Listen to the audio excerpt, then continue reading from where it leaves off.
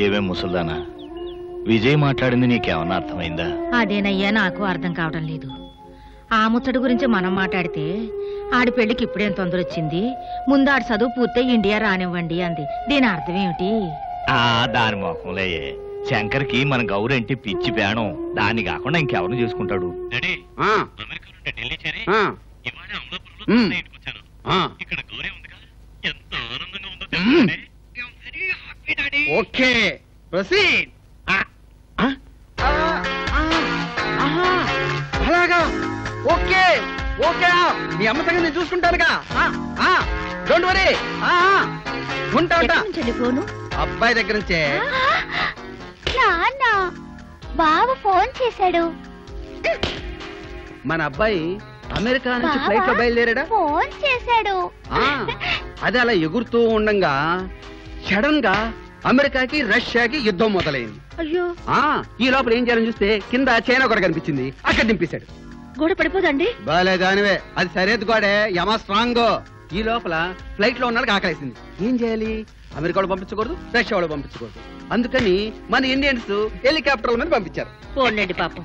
ఏమండి అబ్బాయితో ఒకసారి ఫోన్లో మాట్లాడతానండి. బాలే దానివే సరిహద్దు గోడ మీద ఫోన్ లెక్క ఉంటాయి? మనం మాట్లాడలేము. అందుకని అమ్మతో నేను తర్వాత మాట్లాడతాను నాన్న అని వాడే ఫోన్ చేసి చెప్పాడు. ఆ? అబ్బాయిని చూడాలని ఉందండి నాకు. అబ్బా అబ్బాయి ఇండియా వచ్చిందో చూడొచ్చు కదా. అసలే వాడి మీద దిగులుతో నువ్వెంత చిక్కిపోయావో. ఏమండి? ఆ. నేను చిక్కిపోయానా సన్నబడ్డానా? ఆ, ఆ, అదిరిపోయావాయ్. ఆ, ఆ. అబ్బా ఊరుకోండి. ఏం చెప్తున్నావు బావా కహానీలు? ఇదేదో చందమామ కథలా ఉంది కానీ నమ్మబులుగా లేదు. హ్మ్.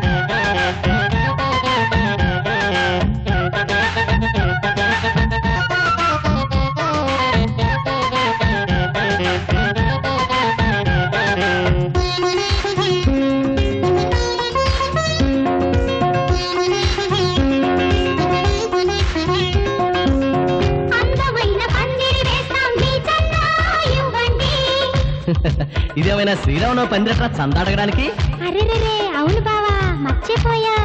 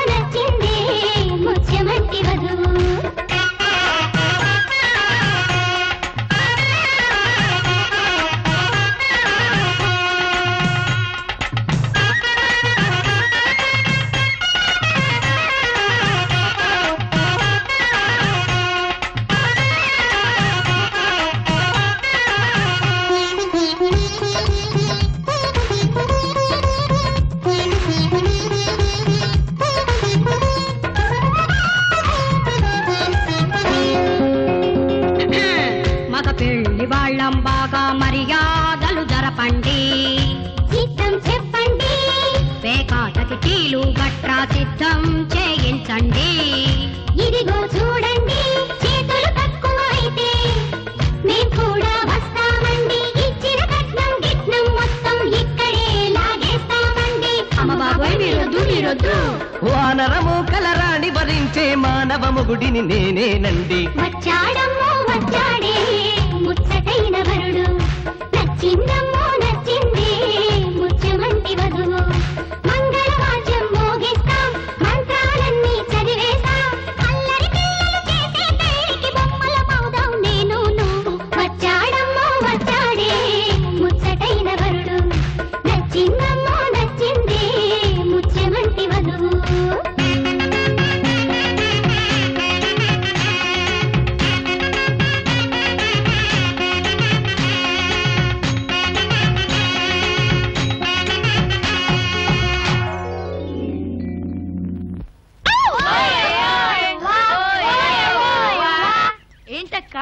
అమెరికా బావ వచ్చినట్టు డ్రీమ్స్లోకి వెళ్ళిపోయావా? ఎక్కడికి వెళ్ళేది? అమెరికా బావ వచ్చాడుగా? నిజమా? ఎక్కడా?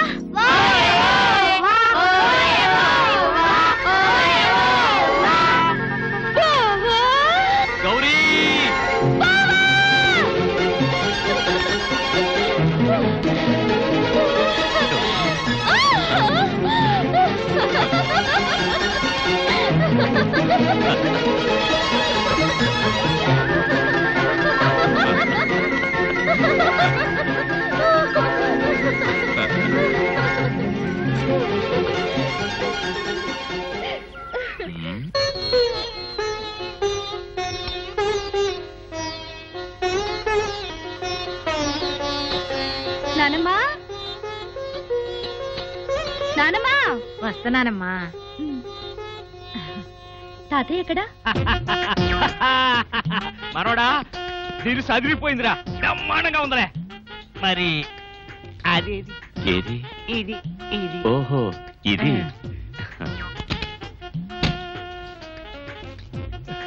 ఓహో థ్యాంక్స్ రమ్మనోడా సీమ సరుకు తాగి ఎన్నాళ్ళైందో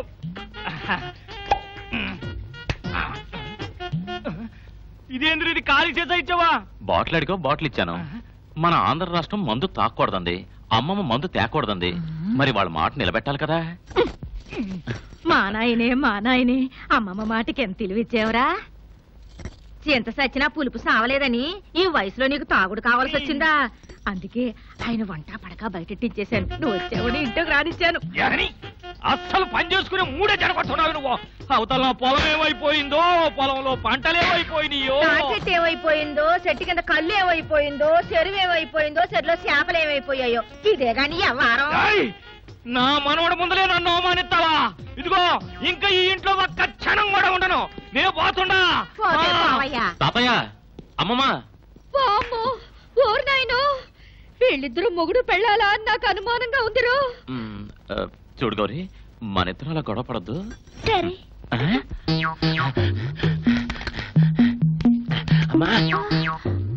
ఏంటి నాన్న కుక్కలు వెంట పడ్డట్టు అలా పరిగెత్తుకుంటూ వస్తున్నావు? కుక్కలేనమ్మా అప్పులు ఇచ్చిన కుక్కలు.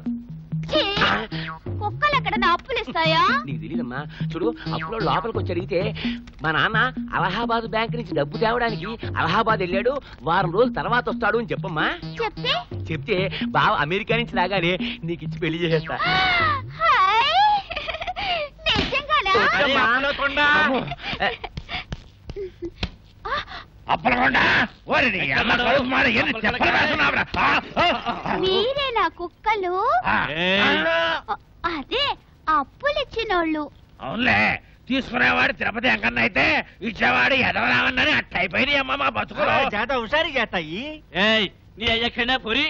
మా అయ్య అలహాబాద్ బ్యాంకు నుండి డబ్బు తీసుకురావడానికి అలహాబాద్ వెళ్ళాడు. అరే చూప్ చూట్ పోతాయి. అబద్ధం అబద్ధం. అబద్ధం నేను చెప్పలేదు. మా నాన్నే అబద్ధం చెప్పమన్నాడు. ఏం చెప్పినావు పోరి? అంటే ఆడు ఇక్కడనే ఏదో మూలకు దాక్కున్నాడు అన్నట్టు! మూల లేడు. ఇంటి కింద ఉన్నాడు కాకిని! కాకిని! అరే గుండు, అప్పలకొండ ఎక్కడ బే?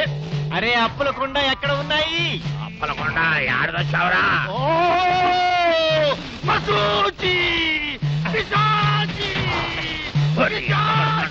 అంతా దుప్పతే ఇక్కడ ఉన్న చెట్టుకున్నారండి బాబా. అరే దుఃఖి బాబా అప్పుల కొండకి ఏమైనా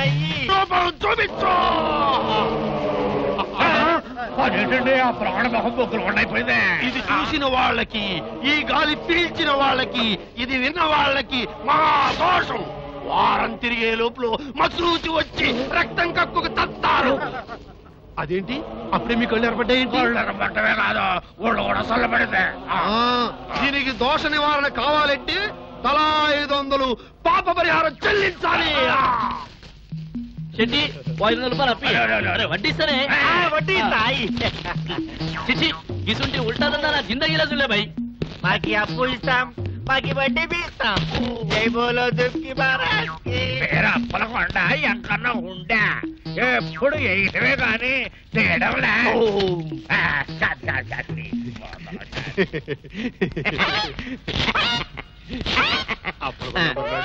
ఆ, బొగ్గులు అమ్ముకో బోల్ డబ్బులు వస్తాయి. ఛీ!